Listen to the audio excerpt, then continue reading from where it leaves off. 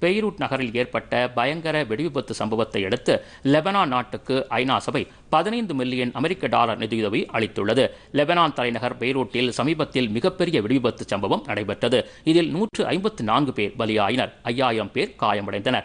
இரண்டாயிரத்து எழுநூற்று ஐம்பது டன் வெடிமருந்து வெடித்ததில் பெய்ரூட் நகரில் ஏராளமான கட்டிடங்கள் சேதமடைந்தன. இந்நிலையில் மீட்புப் பணியை மேற்கொள்வதற்காக லெபனானுக்கு பதினைந்து மில்லியன் அமெரிக்க டாலர் நிதியை ஐநா அளித்தது. இந்த நிதி மருத்துவமனையில் சிகிச்சை பெறுபவர்களுக்கு பயன்படுத்தப்பட உள்ளது